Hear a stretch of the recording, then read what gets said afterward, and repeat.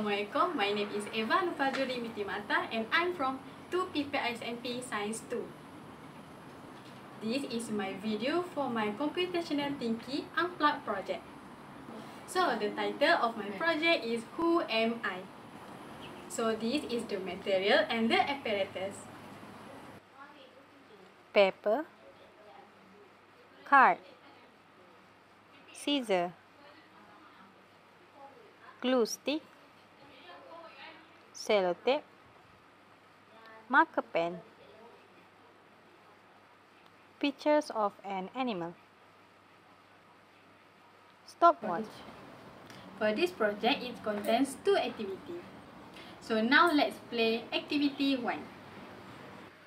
A player will receive a picture without knowing who it is. With the card on her forehead, the player can only ask yes or no questions to try to figure out who they are. Minimum players are two people.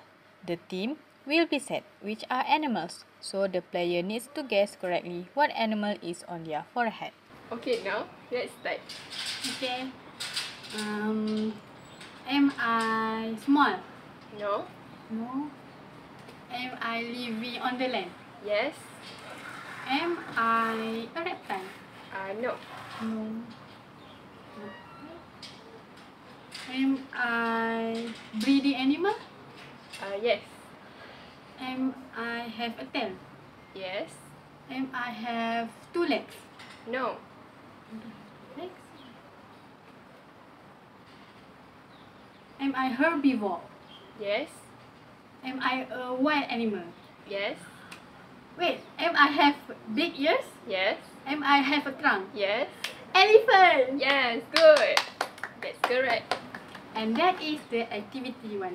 So now let's take a look what are the elements of computational thinking in this activity. The first one is decomposition. Decomposition is breaking down a complex problem into smaller or manageable parts. So, for this activity, the complex problem is who am I? So, the player will break down the complex problem by asking some detailed questions to get the clue of the picture to get an answer, such as Am I small? Am I reptile? Or am I herbivore? The second one is pattern recognition. Pattern recognition is looking for similarities among and within problems. In this activity, the player will observe the patterns or questions that had been asked to guess more about the pictures.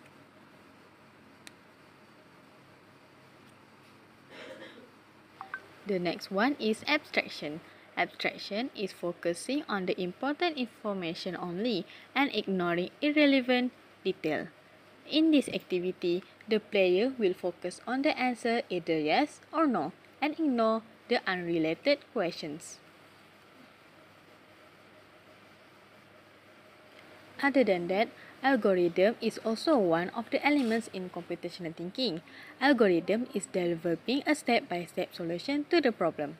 When the player has recognized the picture for sure, she can ask more questions related to the picture to get confidence to guess them and win after the game.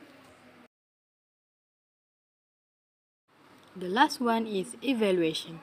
It is when the player decides the best assumption about the animal. And now it's time for activity 2. A player will listen to the imaginative story about an animal.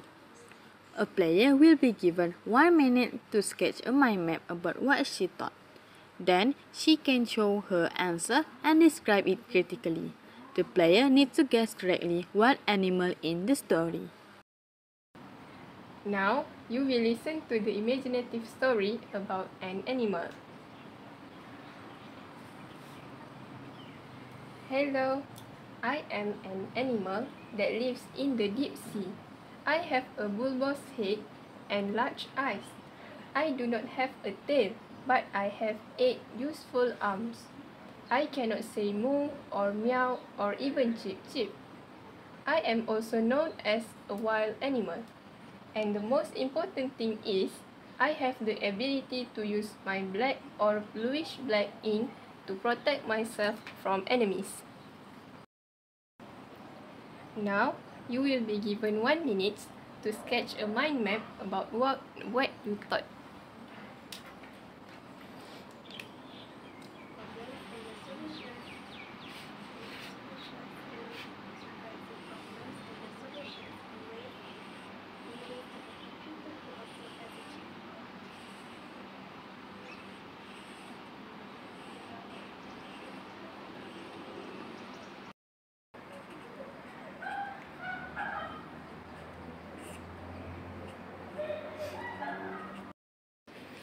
Okay, time's up. Now you can show about uh, your answer and what you thought about who am I.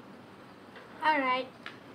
So, uh, my answer is octopus. Uh, this is because it have uh, it has bulbous head, it has eight useful arms, it has large eyes, and also um, and the most important thing is uh, it uh, has the ability to use the ink to protect itself from enemies. So that is why I think the answer is octopus. Yes, correct. Thank you. And that is the activity 2. So now, let's take a look what are the elements of computational thinking in this activity 2. The first one is pattern recognition. It can be clearly seen when the player observes and identify the pattern of story that is given to guess the clue of an animal. The next one is algorithm. It is when the player draws the mind map and describes the animal in the story. She can have the solution to get the correct answer. And then the last one is evaluation. It is when the player decides the best assumption of an animal. Conclusion, I have identified and learned all five elements of computational thinking in these activities. That's all from my Project 1 video for computational thinking. Thank you.